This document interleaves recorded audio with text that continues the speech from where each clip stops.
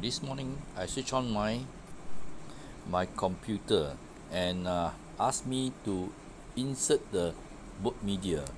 Okay and ask me to press any key. I press any key few times yeah still cannot put up my windows. Yeah I don't know what should I do now. Okay.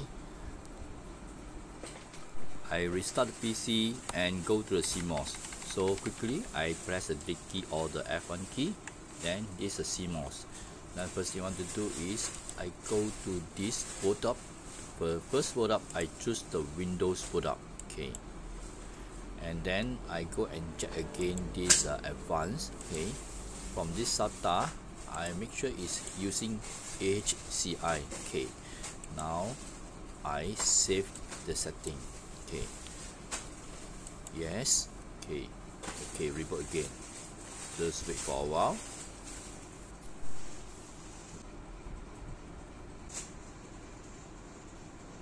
Ooh, it's good. Now my window can boot up. Okay. So wait for a while some more. Hopefully you can go in some more. Okay. Now while my windows come I go to desktop. Yeah everything is fine. Okay. But I don't think I solved the problem yet. Okay. I will try to change. Should be the CMOS battery. Okay. So I shut it down.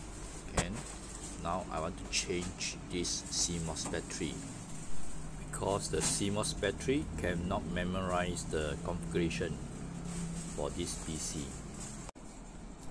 okay now I want to remove this CMOS battery. It's very easy to remove okay? And uh, this battery is using CR2032 yeah you can buy anywhere. Let me use multimeter to check the voltage okay it is 2.02 volt. Suppose it's 3 volt plus. Yeah. Now I try to replace a new battery. CL2032 okay. Now I test the voltage and see. Okay. The voltage is 3.35 volt. Yeah. Should be this type of voltage. Okay. Replace or remove the battery is very easy. Okay. Just log in. Okay. Then just press down.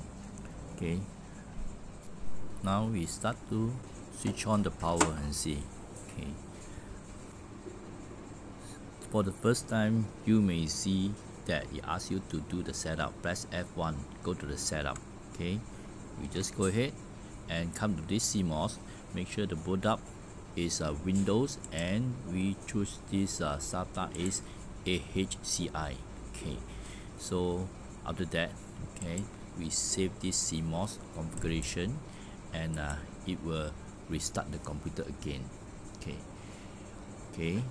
Then just wait for a while you will come to this uh, Windows screen.